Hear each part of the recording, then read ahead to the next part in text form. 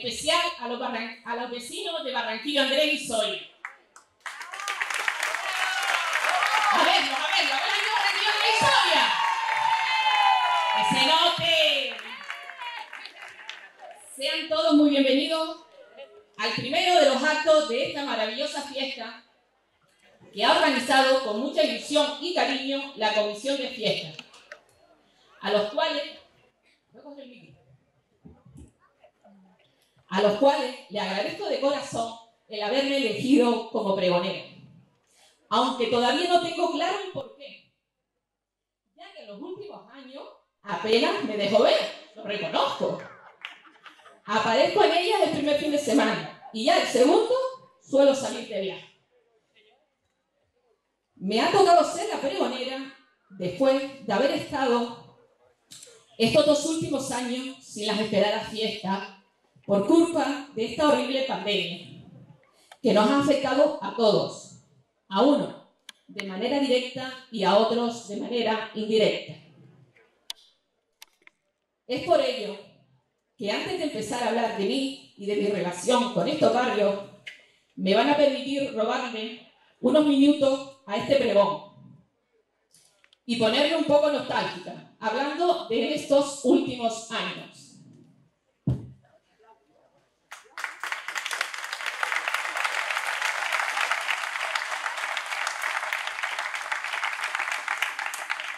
A las últimas fiestas celebradas en agosto del 2019, yo no asistí. Es más, en un día como hoy, la cual tuvo el honor de ser la pregonera Pino Tunte, pasé esa noche y el día siguiente en el hospital con mi madre. ¿Quién me diría a mí esa noche que tres años después era yo la que iba a estar encima de este escenario? Y lo que es peor, ¿quién nos iba a decir a todos lo que estaba por llegar? Lo más duro de todo, para empezar, es lo que nos trajo esta pandemia. Allá por marzo del 2020, exactamente el 14 de marzo, aquel día fatídico para todos, el gobierno declara el estado de alarma por la pandemia del COVID-19. Un antes y un después en nuestra vida y que ha llegado para quedarse. Todo esto ha traído consigo meses de tristeza, de miedo, de incertidumbre, de no poder abrazarnos. Y lo peor de todo, el fallecimiento de muchísimas personas en todo el mundo.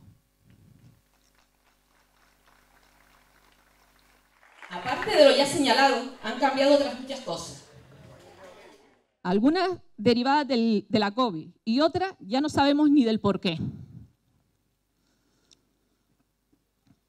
A la suma de todo esto, nuestro barrio, desde agosto del 2019 hasta el día de hoy,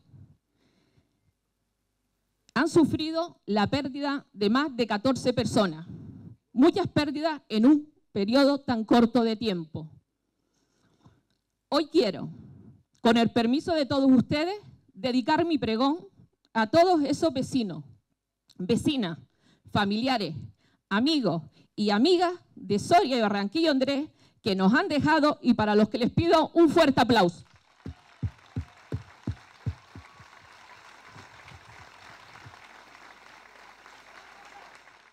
Se nos han ido muchos, pero seguro que están por aquí arriba viéndonos.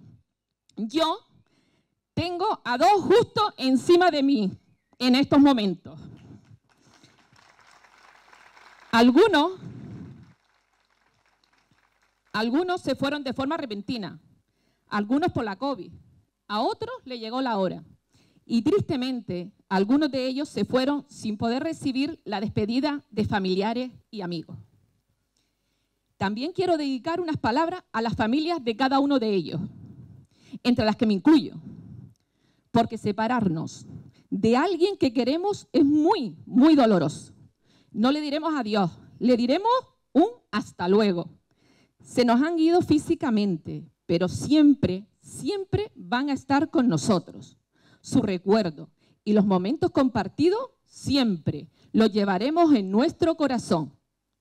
Así que mucho ánimo, esperanza y siempre, siempre recordarlos con una enorme sonrisa, que es como ellos quisieran que se les recordaran.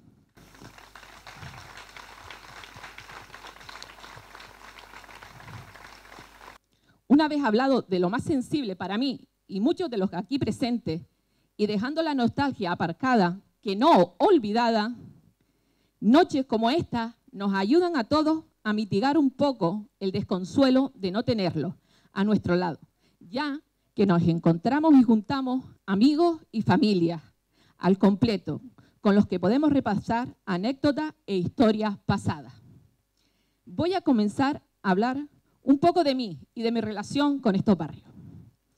Como veo mucha gente, y creo que muchos de ustedes no me conocen ni yo a ustedes, o me conocían y ya se han olvidado o desconocen alguno de, mis adjetivos que me describen, me voy a definir con palabras que otros me dicen cuando me ven por ahí, que en cierta manera no van mal encaminados. ¿eh? Por ejemplo, mala mañana. Esto me lo dice Roberto, el de Mari Sánchez y alguno más. Poco cariñosa, lo reconozco. Pesada y maniática, también. A simple vista, un poco antipática. Los, que me, que me, dicen eso lo dicen, piensan lo contrario. Suelen cambiar de opinión. Asustadiza y chillona. Pregunten a mis compañeros y compañeras de trabajo. Pero una de las cosas que más me caracterizan es mi humor, un poco, un poco sarcástico. Ya que muchas veces no saben si hablo en serio o en broma.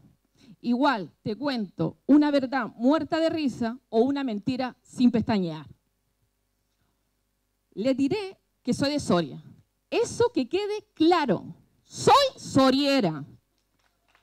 ¿Les queda claro? No los oigo, ¿les ha quedado claro? ¿De dónde soy? Hija de Pepito Quintana, un hombre y padre maravilloso, y Mariquita Alpino, Mujer luchadora y con un corazón dolorido por todos lados, pero guerrera hasta el final. Gracias por venir, Mariquita Alpino. Fruto de esa unión nacieron cuatro chicos y cuatro chicas, siendo yo la menor. En mi casa nunca existió el aburrimiento.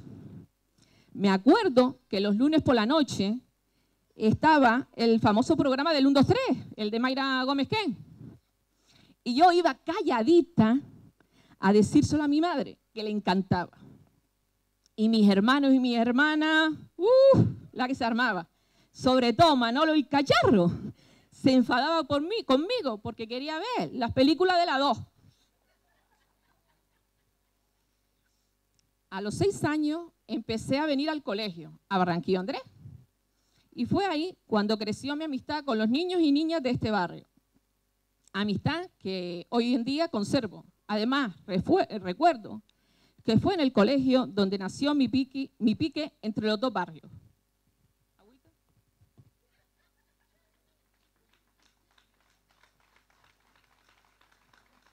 Es que, es que ahora viene lo bueno, entonces yo reconozco públicamente que a día de hoy sigo con ese pique. Pero con un pique con mucho cariño y respeto, ¿eh? eso que quede claro. Ya que tengo que confesar que no, me puedo, que no puedo dejar de querer a un barrio en el que hice mi primera comunión, en nuestra iglesia de la Inmaculada Concepción y San Andrés, al igual que me confirmé en ella. Y celebré uno de los días más importantes de mi vida, mi boda. Sin olvidar que en Barranquillo Andrés vive mi hermano Miguel y mis dos sobrinas, Aroa y Nayara. Ah, perdón, gracias Mari. Y mi cuñada Final, se me olvidaba. Yo como este Barranquillo Andrés no me acordaba. Gracias que tengo a Mari. Eso sí, cada vez que por desconocimiento o por error me dicen barranquillera, pongo el grito en el cielo y dejo claro que yo vivo en el paraíso de Mogán, que es Soria, y que Barranquillo Andrés es el barrio que está al lado del paraíso. Les voy a contar dos anécdotas sobre mi pique cariñoso y sano que quede claro, cuando me pregunta alguien por gente de Barranquillo Andrés. Hace muchos, muchos años, estando yo trabajando en Mogán, vino una compañera para que le rellenaran unos papeles. Y sabiendo que yo era de Soria, me preguntó, mira, si tú eres de Soria, ¿tiene de vecina a Lupe? Miro para ella seria y le digo, ¿a Lupe? En Soria no vive ninguna Lupe. Y seguí rellenando los papeles. Y me dice, sí, mi niña, ¿cómo no la vas a conocer si es la mujer de Francisco que tiene un tacito? Levanto la cabeza y digo, no, no, yo no los conozco, en Soria no vive. Pues bajo la cabeza y sigo con los papeles. Ella no se quedó muy convencida, pero seguimos hablando de trabajo. Al rato vuelve y me dice ya con el tono de voz un poquito más subidito. Pero mi niña, si yo creo que, son nacidos y, criados allí en Barranquilla, Andrés, tú los tienes que conocer. La miro y le pregunto, ¿de dónde dijiste que eran? Dice, de Barranquilla, Andrés. Digo, ah, coño, ay, perdón. Ah, ah claro, de Barranquilla, Andrés, ¿eh? sí, vive Lupe, Francisco, que tiene un taxi. Yo conozco a toda la familia. Por un poco me mata. Otra anécdota. Esta es un poquito más reciente, esta hace de un par de años. Un compañero de trabajo me para por las escaleras y me dice, oye, va a empezar a trabajar un chico que seguro que conoce, un tal Germán Mejía. Digo, uy, qué guay, Germán, sí, sí, un buen chico, un buen elemento para el ayuntamiento. Con la misma me quedo también seria, lo miro y digo, pero ojito, tiene un gran defecto ese chico. Mi amigo se, asustó el pobre, dice, ah, pues dímelo, dímelo, antes de que empiece a trabajar. Digo, es de Barranquillo, Andrés.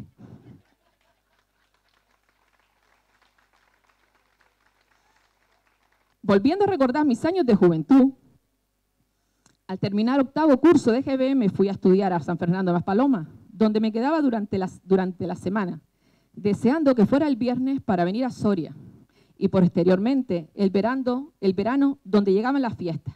Fiestas que al igual que hoy en día esperamos con ganas e ilusión. Empecé a colaborar en las fiestas, creo que a principios de los años 90. Los de Soria veníamos e íbamos caminando. Desde la punta de adentro de Soria hasta la majadilla íbamos uniéndonos para venir todos y todas.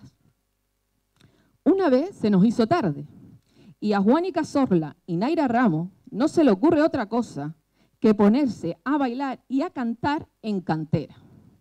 Y yo, vamos chiquillas que ya llegamos tarde, vamos. Y ellas más bailaban y más cantaban, un poco más y les tiro del pelo a las dos.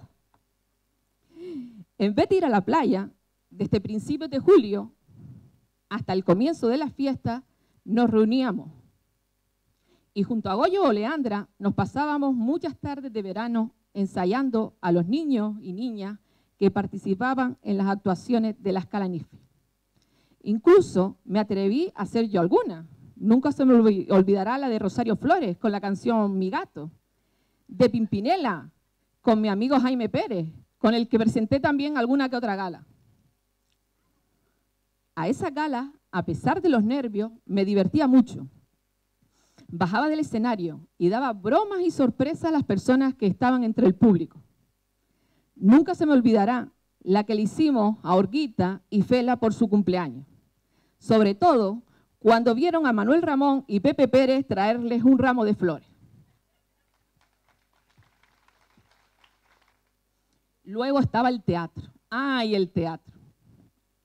Creo que durante seis o siete años estuve participando en las obras de teatro en el cual durante ese tiempo se iba agregando nuevas incorporaciones, jóvenes y no tan jóvenes. Era un poco, era un poco duro el ensayar y el repetir las escenas, aunque nos lo pasábamos muy bien.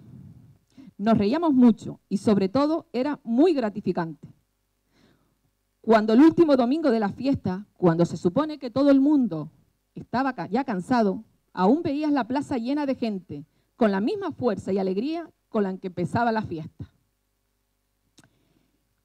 Elegíamos las obras de teatro del libro de los cuentos de Pepe Monaga y luego nosotros las redactábamos, las hacíamos nuestras, añadíamos nombres de vecinos, vecinas, historia de nuestros pueblos y de nuestros políticos.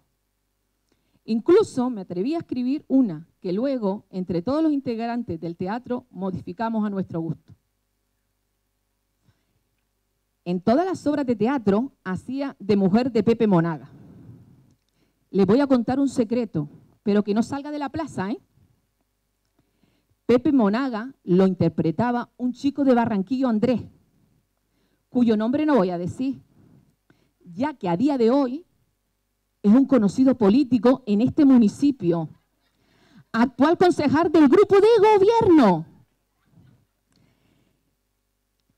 Y no quiero no meter la pata, no vaya a ser que le pueda influir negativamente en la intención de voto de los moganeros y las moganeras de cara a las elecciones del año que viene. A día de hoy sigue siendo el teatro un acto tan importante en nuestra fiesta que nadie se lo quiere perder. Aunque este año este acto contará con un enfoque diferente, pero igual de divertido y entretenido. Así que ya saben, el último domingo aquí, en la plaza. A finales de 1996 comencé a trabajar de auxiliar administrativo en la Concejalía de Deportes del Ayuntamiento de Mogán. En la programación de actividades del año 98 estaba la de mantenimiento para mayores en todos los barrios del municipio, menos los nuestros. Y yo fui y me quejé. Me dijeron que por el momento no podía ser por la falta de personal y por la distancia en la que se encontraba nuestro barrio. Pero que como yo era de Soria, que diera yo la actividad. Tenían que ver la cara mía, de impotencia, porque sabía que la lejanía no tenía que ser una excusa para disponer de servicio a los que todos tenemos derecho, sin tener que desplazarnos. Pero dije, ah, sí, pues vale, yo lo hago, yo doy las clases. Me hice dos o tres cursos de gimnasia de mantenimiento. Las compañeras me dejaban los esquemas de sus clases y durante unos meses y, durante, y dos veces por semana daba clase a todos los que quisieran apuntarse.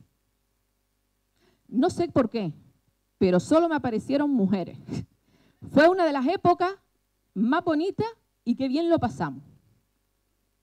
Esas mujeres, todas amas de casa y muchas además con su trabajo, que a, media tarde llegaban con cara de cansadas y agotadas y se iban con una enorme sonrisa.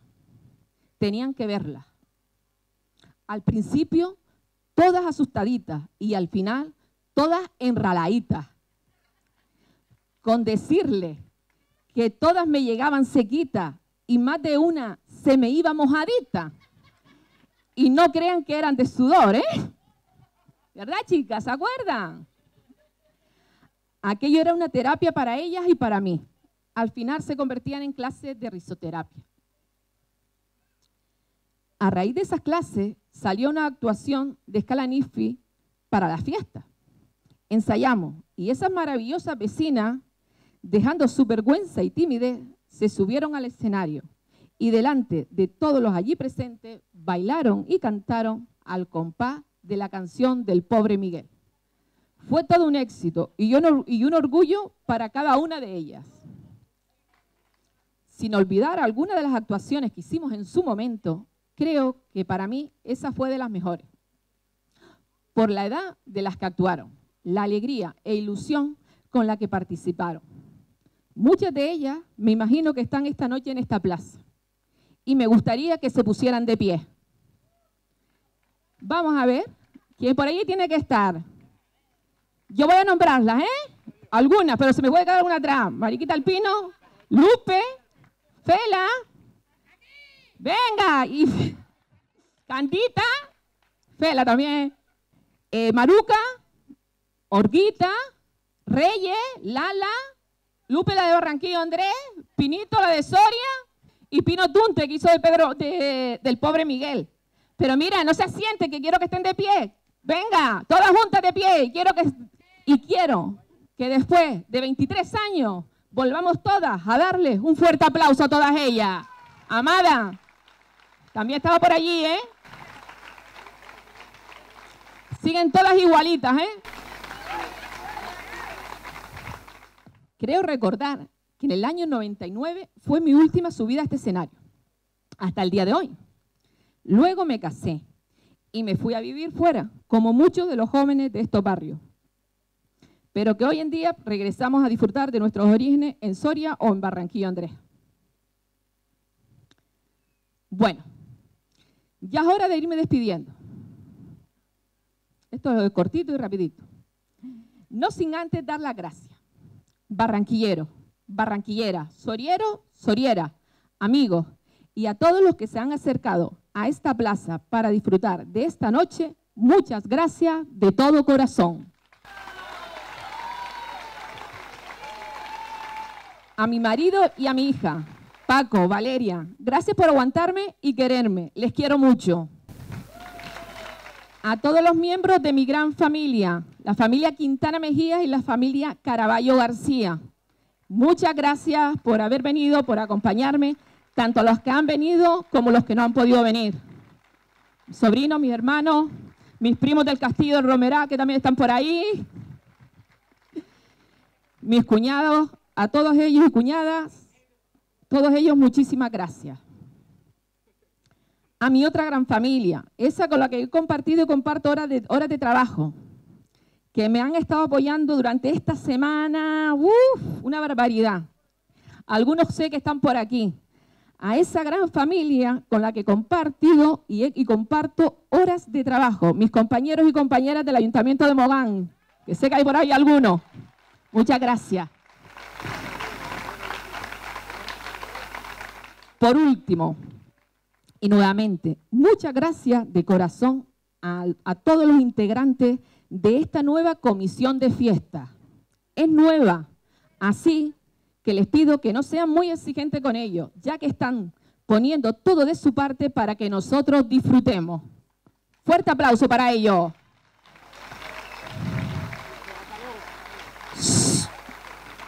Súper agradecida de darme esta oportunidad de ser la pregonera y ser la encargada de dar el pelotazo de salida a la fiesta de Barranquillo Andrés y Soria 2022. Alegraos que son que con estas fiestas ha llegado el momento de la alegría. Saludaos unos a otros como si fuera la primera vez o como viejos amigos. Abrazaos, bailad, cantad y reír. Dejaos llevar por la música. Rompe por unos días la monotonía de todo el año de forma que la, explosión de vuestra alegría no tenga más límite que la del respeto a los demás. Después de dos años sin celebraciones, les animo a participar en cada acto que con tanta ilusión y entusiasmo se ha organizado. Y aprovecho para invitarles mañana a la romería que tendrá lugar en Soria, en el pueblo de La Pregonera. Pasaré lista, ¿eh? Señoras, señores, vivan la fiesta de Barranquilla Andrés y Soria 2022. ¡Viva la Inmaculada Concepción y San Andrés! Y vivan todos ustedes. Muchísimas gracias.